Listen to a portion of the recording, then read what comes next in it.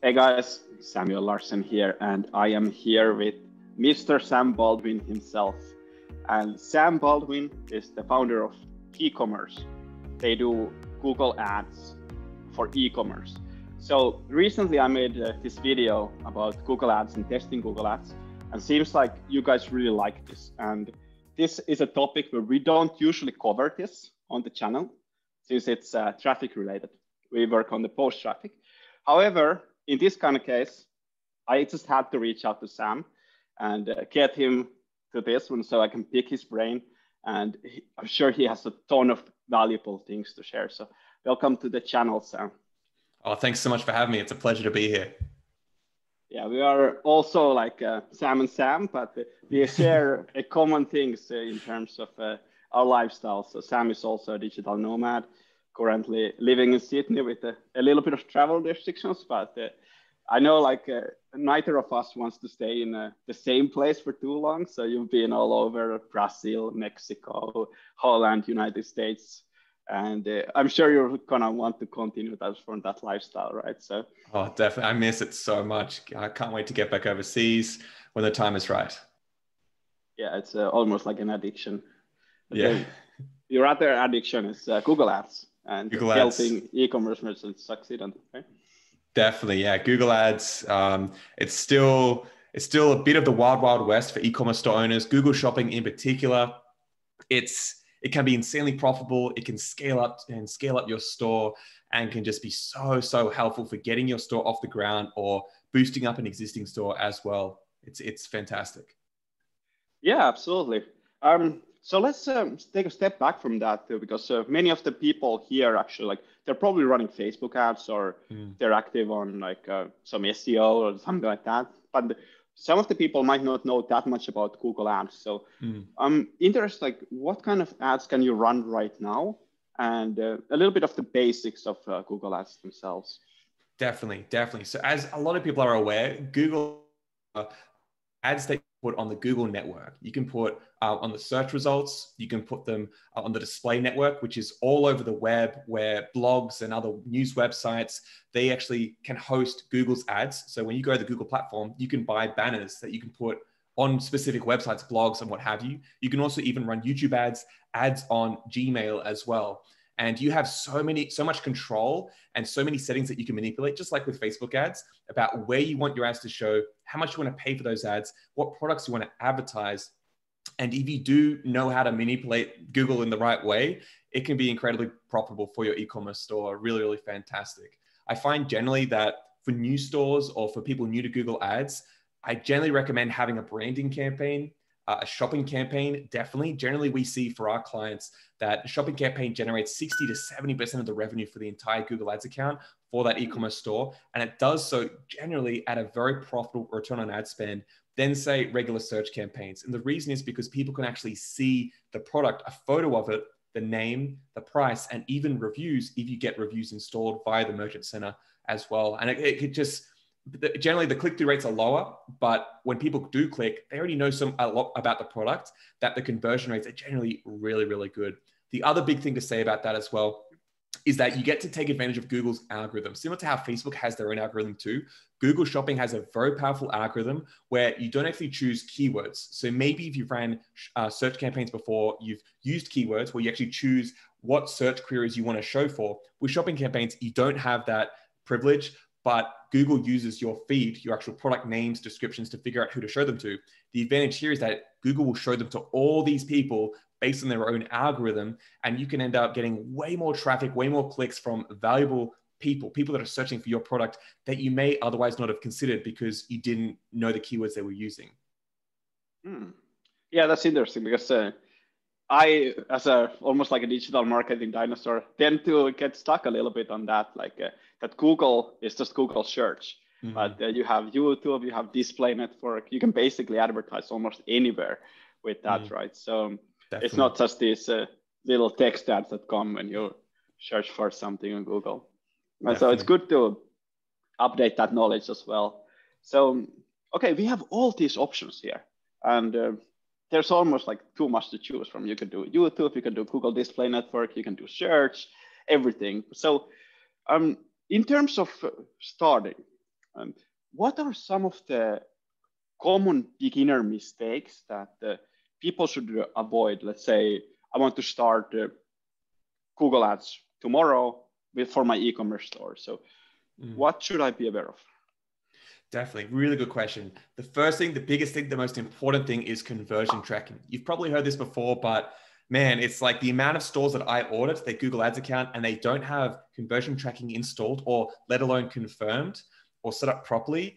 It's insane. And the problem is that you're paying all this money to Google. It's called pay per click marketing. You're paying for those clicks and you want to keep that data. Even if you don't get any sales, you want to get that data and know okay, what's actually converting? What keywords, what products, how much you're paying, what's your return on ad spend? If you don't have conversion tracking set up properly, it, it, there's a little bit of data in there, demographic data, but largely so much of it is a waste. And that's the biggest mistake I see because without conversion data, you can't optimize. You don't know what to change because in Google, just like you said, there's so much to do. There's so many levers and it's very, very confusing for beginners but when you have conversion data, suddenly you can have waypoints. You, you can have a break even return on ad spend. You can have a break even CPA.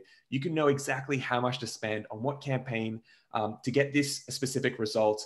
And you can optimize it for your advantage. And that's why, as part of conversion tracking, it's so important to know your financials. So really understanding your profit margin for your store, understanding your break-even ROAS, and that's calculated by getting your getting one divided by your net profit margin. That gives you your break-even ROAS. That's going to guide everything you do in the account. You're going to know the campaign's working or not. And it's so important to know that stuff because most stores, they're just flying blind and they wait till the end of the month, see if they've got the money to buy new stock. Um, and sometimes that, you know, you don't want to be running at a loss and just hoping that the rest of your platforms, organic, Facebook, what have you, picks up the loss from Google. And we see that the stores that hmm. do know that stuff, their financials, and they have conversion tracking installed, it's this beautiful snowball where month, month after month, they know how much they can invest in other parts of their store, but as well, how much they can invest into ads. Should they just put more budget in, more, more money into that Google Ads account? Because it's working. And uh, that's so, so powerful. You just, they just dominate the competition because you know, I'm sure you understand this, that the, the stores that just win at digital marketing are those that can spend more than their competitors to acquire a customer and you can only know that if you know your financials that's that's why it's so so so so important so yeah that those are the biggest mistakes that i see and they're really easy to fix it, it yeah it's so so easy yeah absolutely so yeah many store owners they're just optimizing politely like uh, mm. they didn't take care of the basics and uh, yeah, you also, of course, you want to jump into the Google Ads and like start mm-hmm. running. Let's start making money, right? But um, if you didn't take care of your tracking, like now you have no idea where you are. You're just like mm. going somewhere. And another thing you mentioned there that was really interesting is attribution. So you have mm. all these uh, channels, and uh, before it used to be like uh, half my marketing spend is wasted. I just don't know which half. But that mm. doesn't need to be the case anymore, right? So it's uh, we live in a better world now and uh, mm. we should take advantage and the way to take advantage is like do these things right so okay so that's uh, that's very interesting so first uh, that step obviously and even if you change uh, to an agency or freelancer eventually you have that data then for them right so mm. that uh, that helps okay yeah you mentioned there facebook ads and uh, this is very common you already have facebook ads and now you want to start with Google Ads. Let's uh, diverse a little bit. Like if I get banned from Facebook today, I have something else going for me. So, mm. what uh, should be the first steps there? What should people do when uh, they already have some success on another channel and now they want to start with Google Ads? Definitely. Good question. So I, a lot of our clients do come over from Facebook ads. They're finding that it gets very competitive or their account gets banned again and again. So they jump over to Google uh, because generally it's changing a little bit now, but generally it's much easier to get your account live without the suspensions and errors. Generally for new stores, I recommend having a branding campaign set up first and then having a shopping campaign. Those two ones just first get them going. The reason I recommend a branding campaign, and this is also a bit contentious in the industry, and I'll give my reasons for having a branding campaign. A lot of people are going to say, okay, firstly, what is a branding campaign? A branding campaign is a, a search campaign when someone searches for your brand. If they search for my brand, Keycommerce, then my website shows up as a paid ad. And people are going to ask, a lot, maybe your subscribers are going to ask this, but what if we're already showing number one for organic? Well, it's a good question because I'm also showing up organically for Keycommerce as well as my paid hmm. ad.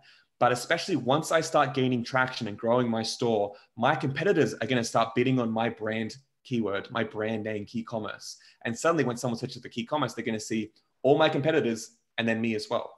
And maybe that's fine because you think, hey, they're only going to go to my brand. But here's the thing when I run competitor campaigns for my clients and my own store, I can generally break even on those ads. So I can I can always get customers and almost always I can actually make that campaign profitable. Well, if I can do that and steal their customers, they can do that for mine as well. So I want, especially those customers that are searching for my brand, they're at the very bottom of the funnel. Usually, those customers, they've already gone through my shopping campaign or my search campaign, maybe even Facebook ads, and they're coming to Google to find me again to finally make that purchase.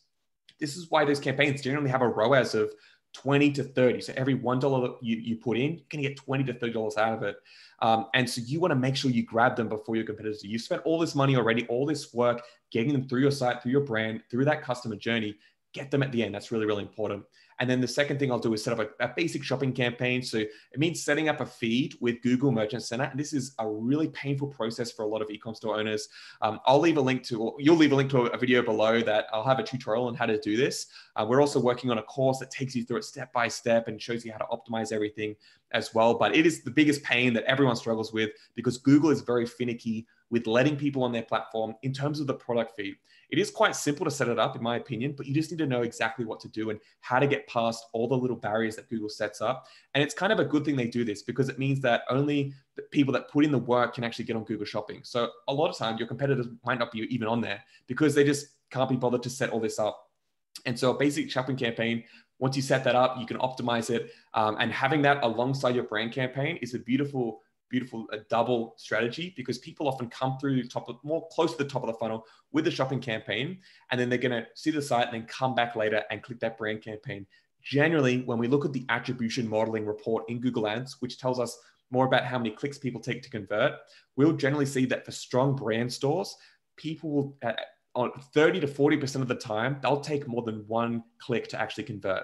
Meaning they'll click once view the product they won't convert 40% of the time and then they'll come back the next time and actually then convert. And it's um, it's it's it's really important to make sure that you have these multiple touch points in your funnel.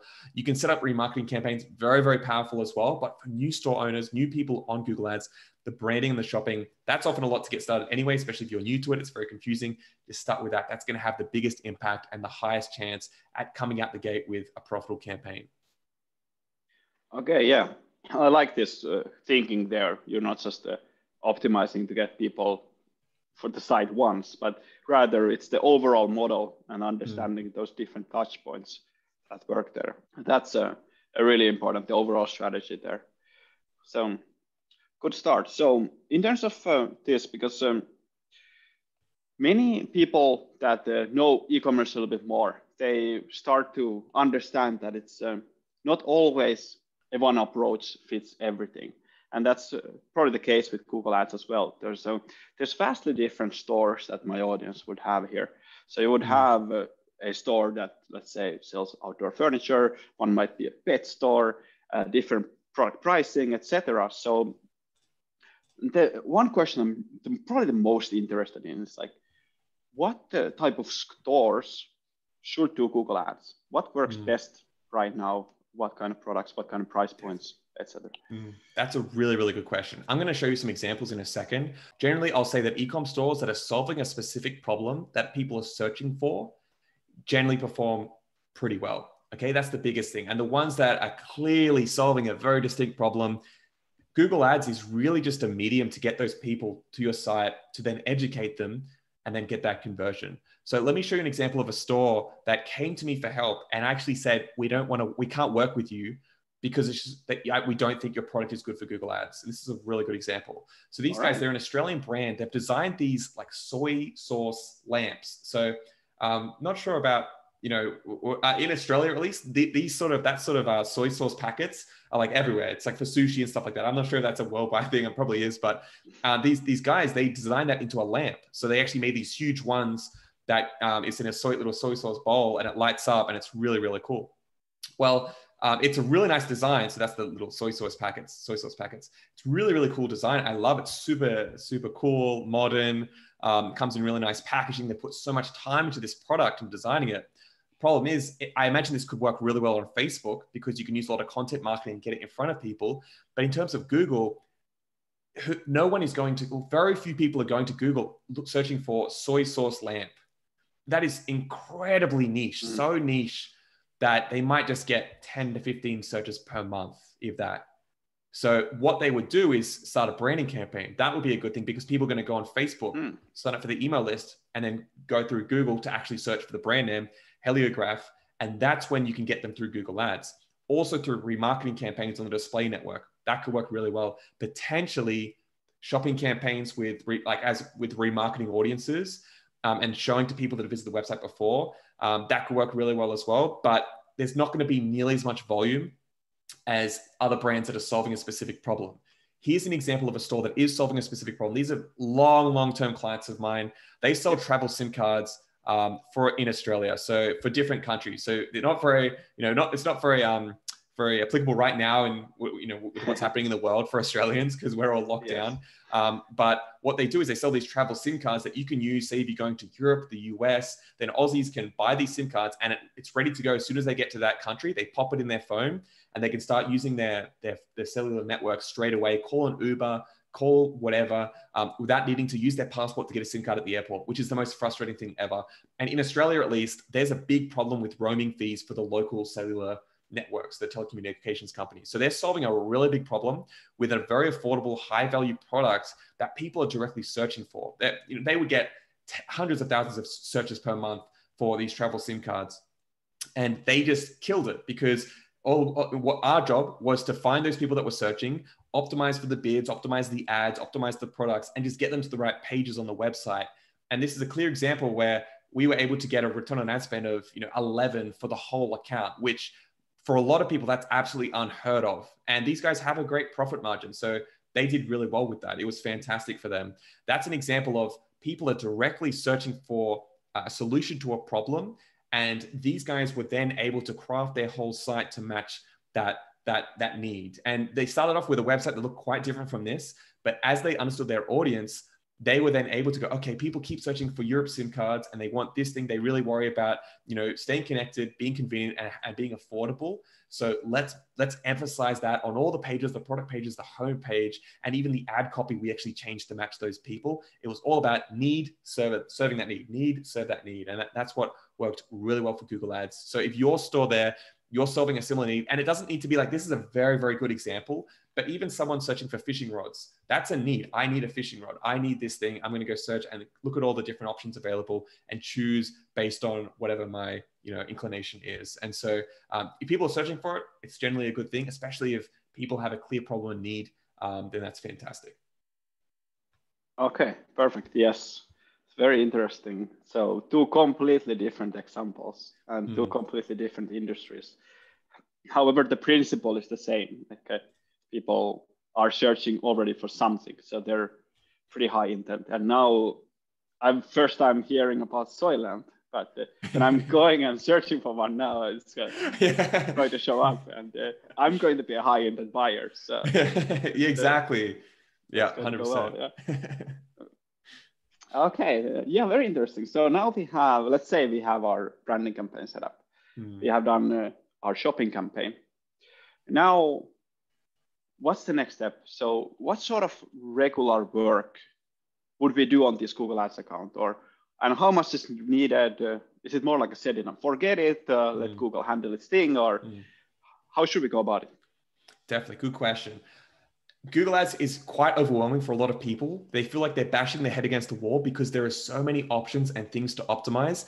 And there's a lot of data, and it can be really frustrating to know okay, what do I actually do to, to improve things here? There are things in the account that you should focus on more than others. Uh, but generally, Google Ads behaves in such a way that it's the long-term small changes that make the biggest result in, the, in, the, in that long term. That's what's so important is that we'll find that you know sometimes with a brand a new store we'll come out the gate with great shopping campaigns the first ones ever run for that store and they'll perform really well in that first month and they'll scale up very quickly. But usually it takes some time. And the reason is you're playing with Google's algorithm and there's so many things that you want to be adjusting and changing bidding, negative keywords, uh, demographic bid adjustments, location adjustments, testing different ads, testing different ad copy, testing different product uh, information in the product feed, um, that it takes some time to really get these kicked in and dialed up and to, to scale over time. Google also is using their algorithm and they're looking at all the conversion data coming through the account and through those campaigns, and they make their own changes on who actually sees these ads based on what converts and they're using all that data too. It's very, very powerful. What I would recommend is if you're running your own your own account and your own campaigns, I recommend checking it every day if you can. I know that that's a, a big ask for a lot of people that are also running the rest of their business, um, but just checking a few few simple things each day. For example, making sure the credit card in your account doesn't bounce. As soon as that bounces, your ads are going to stop, and then you lose all that traffic and all that data, and it can be it, it's you know you're just losing potential sales, especially if it's an account that's already profitable you don't want to do that. The next thing is always check your Google Merchant Center account. This is so important, uh, especially in the last few months. Google have been suspending stores like crazy. My team and I, we've been helping with this. We've created a guide on how to fix the suspension. But you need to check your Merchant Center account and fix disapprovals as soon as they come up. Sometimes, if you leave it for a week or a couple of weeks, Google will actually stop your account, and it's yeah, it's it's not good. It, it's not it's not super common, but it, it, can happen, especially with huge huge disapproval errors. Um, those are things you want to check every single day just to make sure that they're okay, especially anomalies in the account as well. Big changes in um, cost per click of, of, of your, your um, campaigns um, and any big anomalies, big changes in, in the data. Um, but over the long term, the next thing I'll focus on is the bidding. That's huge. If you're using a manual bidding strategy, which generally I recommend for new stores that are starting, just so that you can have more control um, and just not overspend, which is what can happen with new new campaigns with the automated bidding strategy.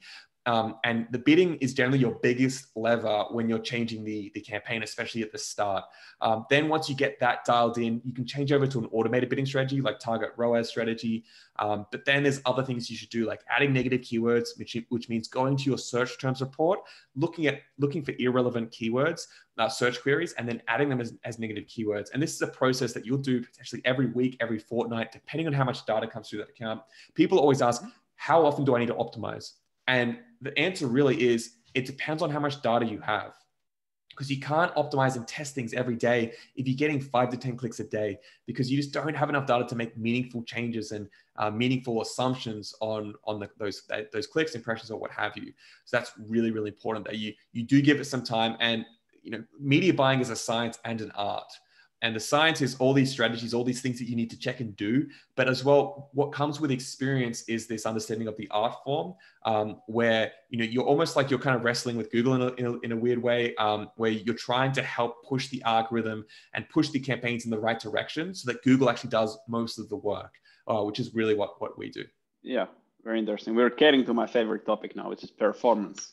And uh, mm. probably the favorite topic of my audience making money. So mm first of all, um, uh, yeah, good stuff. In terms of uh, this, um, how can we know that the account is performing well? Because uh, the first thing that we definitely want to avoid is uh, overspending, mm. making these um, stupid mistakes, like you mentioned, like uh, spending money without getting a return, like not knowing the conversion tracking, etc. And uh, basically, how do we ensure that our ad account is performing well and how do we even know if it is? Hmm. it's a really good question. So firstly like i said before conversion tracking get that get that installed yesterday as soon as you possibly can. So so so important. Make sure it's set up properly. The next thing like i said before is knowing your financials. You need to understand how much you can actually spend to acquire each of your customers how much you can spend on your ads um, and how much you can spend per sale per order. Um, and that's so so important once you have that data and you have the break even ROAS, I'll, like Sam, Samuel will leave a link in the description below to a video I made on how to calculate your break even ROAS. Very, very oh, valuable. It's a very simple video. Um, but yeah, it's really important to know that because once you have that metric, say if your profit margin is 30%, your net profit margin, it means your break even ROAS is going to be 3.3. Uh, I think that that's what one divided by 30%, 3.3. Um, and so basically what that means is when you go into your account, you can look at any single level of your account because you have your campaign level, you have the ad group level, you have the keyword or the product level. You can look at any of those levels and actually see what is my return on ad spend, my ROAS. Is that higher than my break even ROAS, which means it's actually a profitable campaign, ad group, keyword, what have you? Or if it's below, that means it's not profitable and it's generating a loss for you generally. Uh, what I like about that method is that um, it doesn't tell you um, as much about the volume of profit or the conversions, but it tells you the the percent almost like the percentage of profit per conversion, like how profitable it actually is, not in terms of volume, but actually like on a per conversion basis, uh, which is really really valuable. Basically on like a per dollar basis, how much you spend and how much you're going to get out of it. Need to know if your account's performing well. Something that's a really good tip for when you're starting your campaigns and you don't know if they're profitable yet. Don't have a thousand dollar budget. Have 30 to $50 to start off with, especially for a shopping campaign. 30 to 50 dollars is a good amount to start off with. Uh, for some people that's that's low. Some people that's a lot. Um, but that gives you a decent amount of clicks per day especially if they're at 50 cents to a dollar 50 which is quite standard for e-commerce depending on your niche. Um, keep the cap uh, the budget capped so that you don't overspend. Once you get that campaigns uh, ROAS above the break even ROAS, so it is profitable, then you can start experimenting with increasing the budget as well. That can be really, really powerful. Um, and you'll be able to tell if you can increase the budget by looking at the search impression share. I keep plugging my videos, but there's another video I made on search impression share. If Samuel's okay, we'll link it. Hopefully, he'll link it below. But um, I made a video on this, on, on, on awesome. When you when you know you can actually increase that budget, and I go through what you can actually check in your account um, to do that. Uh, but if it's pro- that's the way I see it is if your campaign's profitable, especially with e-commerce, as long as you don't have a limited amount of stock, like um, you can just increase the budget of that campaign and you just get all those sales that you can while the going is good. That's what I recommend. Okay, perfect. Yeah, so it is a, of course a pay to play system. Um, yeah. And people need to be careful about their spending, but not be too afraid initially. So. Mm. $50 if you're looking to make uh, something long term is a, a, really small investment. So mm. it's not something that uh, you should be afraid of. Uh, just a, a, couple of months of Shopify, really. Mm. So yeah, um, it's a, sounds like it's a very good platform to test this initially, right? So definitely. Okay, good, good. In terms of the timeline, though, so we have had uh, a lot of good initial strategies, but just like uh, very briefly, um, what should I expect? Like, how does it look like? When can I start seeing that, like if they have potential, mm. and uh, when is it too early to say like this doesn't work? Definitely, yeah, good question. Yeah, a lot of people get frustrated when in the first few days they don't get any sales, or they might not even get clicks. So let me give you some timelines and what I always tell clients, um, and what we see time and time again. On average, as well, there are there are definitely outliers, but on average, it takes about two weeks to get an idea of potential. And by potential, I mean usually a couple of sales but just knowing, okay, there's a lot of search data out there. There's a lot of people looking, there's a lot of people clicking, uh, uh people that click, um, people that view the ad often click, which means a high click through rate, a high CTR. Um, then you get an idea of potential. Sometimes you can get a profit within two weeks, sometimes it depends, but usually it takes about one to two months to get to that point. That, that's generally what we see. Things that can affect this is if you uh, if you already have a strong brand. For example, we started working with this very strong brand that uh, hadn't done any Google ads before. We started their account from scratch and we started those campaigns and the first week, I think it did 5K in profit, which was insane. It was just an absolutely mm-hmm. crazy result. Uh, we built the groundwork. We built the foundation of a great shopping campaign, search, remarketing, and branding. But initially, because uh, their website converted so well, it's, it was absolutely incredible. Um, that all the a lot of the traffic we got, you know, we got a lot of sales, and it paid for our service immediately, like really, really quickly. They were, of course, a very, very happy client, but then it just grew from there ongoing.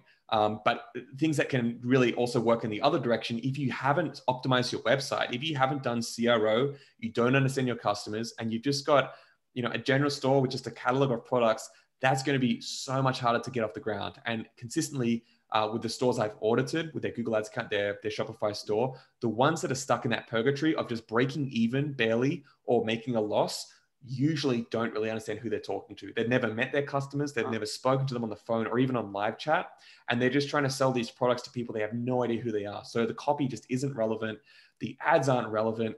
Um, and they're competing with these brand stores that have been in the niche for five, ten years that do really understand they, like if they're selling back massaging guns, they really understand who wants these, who uses them, and why they want them, and all this sort of stuff. And they're not just finding this product on on a dropshipping site and selling it. it dropshipping is great; it can work. Don't get me wrong, but you need to. It's just a fulfillment model. You need to just like every business understand who you're selling to, um, and demonstrate the value in your product if you want people to hand over you, over their money. Yeah, yeah, makes sense. Uh, those are pretty much the same things that we also go over on this channel a lot. Mm. Um, okay, just to wrap up, I wanted to uh, leave the best things uh, for the future. So I just have a couple of uh, good questions for you to begin mm. with. So I constantly see this like beginners, they just in it to make a quick profit here. Mm. But um, advanced people, they are actually optimizing not only for the profit today, but actually for the business value and uh, making a sellable asset out of it. So as we know, money is good, but automated money is a lot better. Mm. And uh, let's say I'm already a little bit more advanced.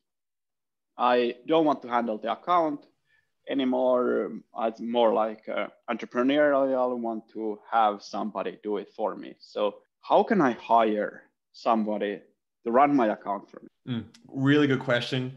Um, yeah, uh, I've hired a lot of media buyers. You know, the last couple of years, dozens of them. Um, and it's tough because there's I'm a media buyer, I'm a salesperson. You know, that's what we do. We sell for our clients, but we also sell to clients. Um, honestly, you need to know the account yourself. You need. It's really hard to hire someone for this position if you don't understand Google Ads yourself. I really recommend understanding it the best you can and having a really good interview process where you ask technical and meaningful questions about their experience and knowledge. I I I'm, I hire a lot of seniors and juniors, and yep. I have a series of questions that I ask just to really see how deep is their knowledge.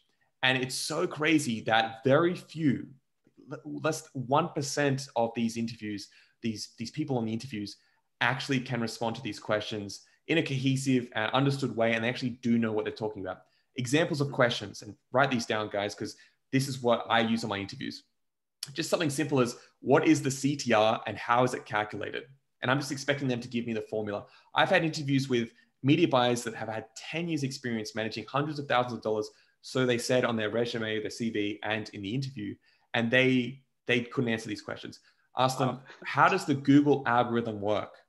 This is something that there actually are very few resources online about this our Google Shopping course, we go deep into this because when you understand the algorithm, it's like seeing the matrix within Google Ads. You can then understand exactly what to change to impact the bidding, the quality score, because these lead to the ad ranking. Understand, understanding the ad ranking and how that places you in the auction lets you know how much you're going to pay for clicks and how to beat out the competition. There's a lot to get into there, but basically, just that simple question: How does the ad algorithm work on Google? And very, very few people can answer that question. The people that work for me now, they all answered that perfectly. They all knew that really well. They have lots of experience doing this, but that's a really good um, question. Another one is how would you manage the quality score? And uh, you know, a lot of people don't understand that quality score is made up of three parts, which is expected CTR, landing page experience, and ad relevancy. And this is to me beginner Google Ads stuff.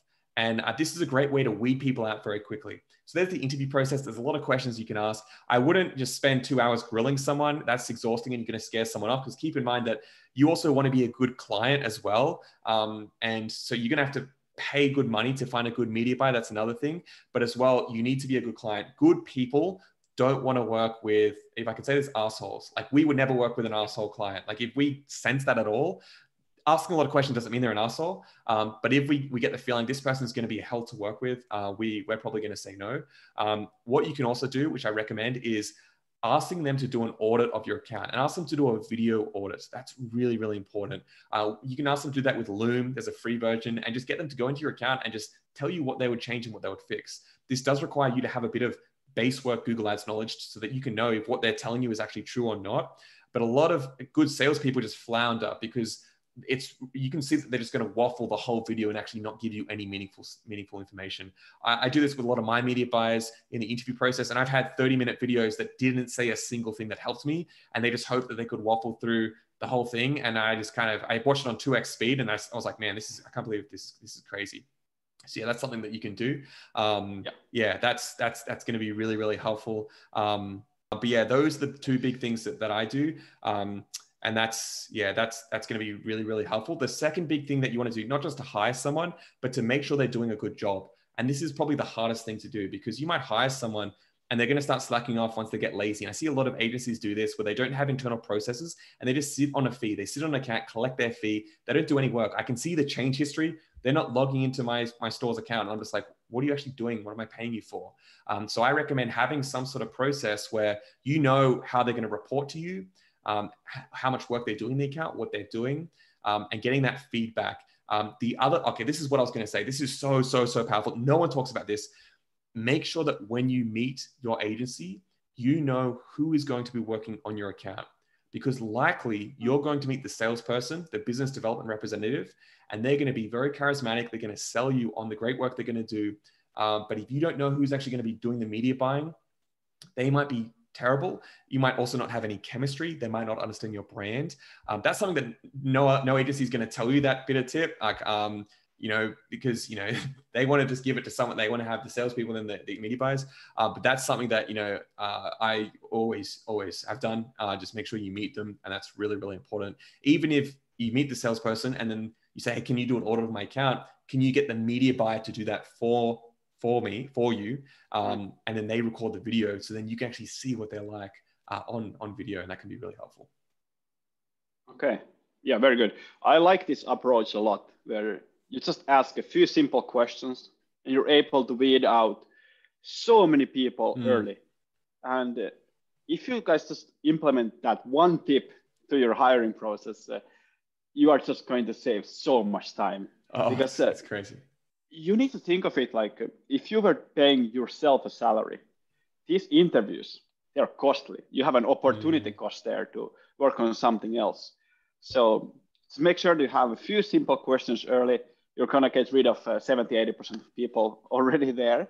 And then you can interview the ones that are worthwhile. And it's also respectful for their time because mm. uh, that way you don't go in depth interviewing some people that have no chance at all.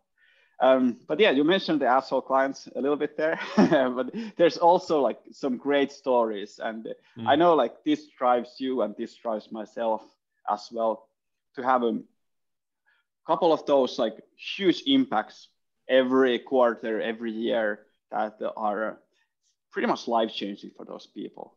And mm.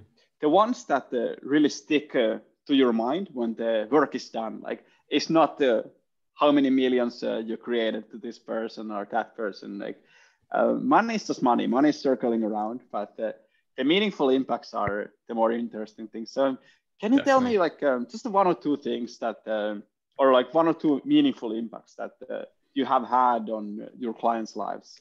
100%. Yeah. And those are the stories that really get me. And for our team, like we love sharing them amongst the team. Um, we actually have a channel within our Slack uh, where we actually share these wins that we have with clients, with each other. It's really important to reflect on these things, but especially when you can have a meaningful impact on a client and not just a client, but their whole life. A good example of this is one client that I worked with and they came to us and i didn't realize they were in such a bad spot and um, we took them on and we grew their account from nothing up to about two to 300k in monthly revenue with a very solid profit margin. And i'd actually never met them in my life because it was, it was a totally remote relationship. I was over in colombia when i when i met them. They were in australia. I eventually flew back and met them and we went out for coffee and they actually told me in person how much of an impact that my team and i had had on their whole life because it had allowed them to have a, consistent source of traffic that was profitable. They were able to move out of a terrible apartment that had rats and broken windows and all this sort of stuff like that. One of them was incredibly overweight and depressed, and he was able to uh, like get his life in order because he was able to live in a nicer place. He was able to, to, to cook nicer meals and all this sort of stuff, pay for someone to cook for him. Um, it was a really beautiful story, like to hear this sort of stuff and also how it impacted their friends and their family and it's it's that's an incredible thing. Yeah you make you make you can make a lot of money. That's great. But when you can actually see it gives someone real happiness and i don't think money necessarily buys directly happiness but it gives opportunities and it can lift people out of a place that's really negatively affecting them in many different ways. And so that's what happened with these guys. Um, still good friends and um, i love them to death. And um, that sort of relationship even if we end up stop working together one day um, that will still be there because uh, they also did a lot for me as well. They, you know, I, they had a very positive impact on my life as well. So that's like a big one that I've had. Um, a lot of people that are able to quit their jobs. That's huge. Uh, when someone they start this as a side project, maybe with their partner, and they're both working full time and they're only able to work on it at nighttime. And then we take on all their marketing and then they're able to then quit their job and work on their dream full time. That's like the best thing ever. And they're just like, how do, what do I do with all my time now? You know, because like it's something I don't have a job, but I'm working on this thing. And um, that's really, really beautiful. So those, those are the big things that are, that um, really get, keep us going. Um, yeah, it's, it's awesome. Wow. Yes. Awesome stuff. Really, really good stuff. And uh, what I noticed there is people don't necessarily open up so much over Zoom calls. Mm. So we have had people that uh, have had a super big impact, but you never know about it because in real life people are way more vulnerable, and when you meet them, mm. you meet them in person, like they're going to come up and uh, actually tell you this. So there's a lot of hidden wins as well as that mm. one. But the, I'm sure at this point, all the viewers. Uh, they have pages upon pages of notes. Mm. I'd urge everyone, if they're interested in Google Ads, first of all, like uh, you have the knowledge now to get started. So mm. first thing to do is like just go ahead and implement. Uh, there's not the reason to really like get too scientific about this. Just uh, get practical, get in there, open up an account, set up the merchant center, and uh, get started. But uh, Sam here, he's humbly giving advice, like creating really good content. And we talked about this, like some people just doing it for the views. Like there's no value in their YouTube videos, and uh, there's just like clickbait, etc. And I'm not going to have these people on this channel. Sam is the opposite of that. So there's a ton of value in that channel, and uh, you can go and subscribe to that. Highly recommend it because only by improving your skills can you stay on top of these things? E-commerce is moving fast. There's over 1 million Shopify stores right now there. So you are not alone in this thing. And if you're not better than your competition, people are not going to buy from you. So mm. go over there. Now, also another resource here. There's tons of links down there on the description that uh, you can go and these are the best videos, some of the best videos that uh, Sam has done and very relevant for this particular case as well. So that is uh, something to start from. But um, that's all from me. Thank you very much for watching and thank you Sam for being a part of this channel. Thanks for having me. It was a pleasure. It's really awesome. Awesome. Likewise. Thank you. Take care. If you are an e-commerce business owner and you want to turn more of your current visitors into buyers, more of these buyers into repeat buyers, and maximize your profitability per order, then here is what you should do. First of all, subscribe to the channel and click the bell to get notified about my latest videos. I share valuable e-commerce information every Thursday. Second, visit crogurus.com forward slash tips you can download our list of 10 e-commerce optimization tips that you can apply immediately and those will help your store convert more of your visitors into buyers. Third, if you already are on at least mid six figures in yearly sales and want to take your game to the next level, then check out crogurus.com and crogurus.com forward slash apply. Thank you.